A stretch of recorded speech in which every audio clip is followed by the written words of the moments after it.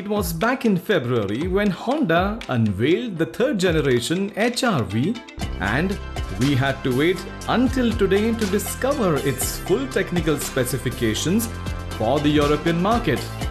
Offered exclusively with a hybrid powertrain, much like the CRV and Jazz, the small crossover uses a naturally aspirated 4-cylinder 1.5 litre engine running on the Atkinson cycle teamed up with two electric motors.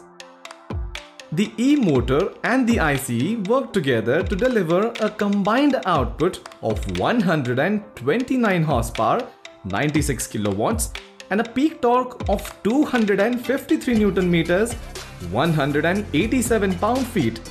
That makes it a tad stronger than the Jazz Super Mini, but that's to be expected considering the HRV is a larger and heavier vehicle that could use the extra grunt. To make the interior cabin as roomy as possible, Honda's engineers have positioned the two electric motors alongside the internal combustion engine.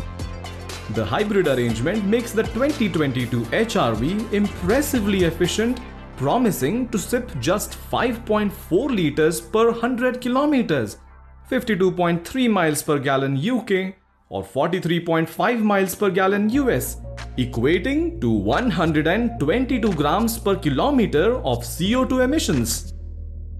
It does 0 to 62 miles per hour, 100 kilometers an hour in 10.6 seconds and while that's certainly not quick, the new electrified crossover delivers adequate performance for someone in the market for a vehicle easy on the wallet and nature. Turn on hybrid drive and the power coming from the gasoline engine can be channeled to recharge the battery which is located underneath the cargo floor. There is also a sport mode that sharpens up the acceleration response to unlock extra performance from the hybrid powertrain Honda has engineered the new HRV with an Econ mode as well, in which case it dials down the air conditioning and the throttle response to maximize efficiency. The normal mode offers a balanced blend of sport and econ.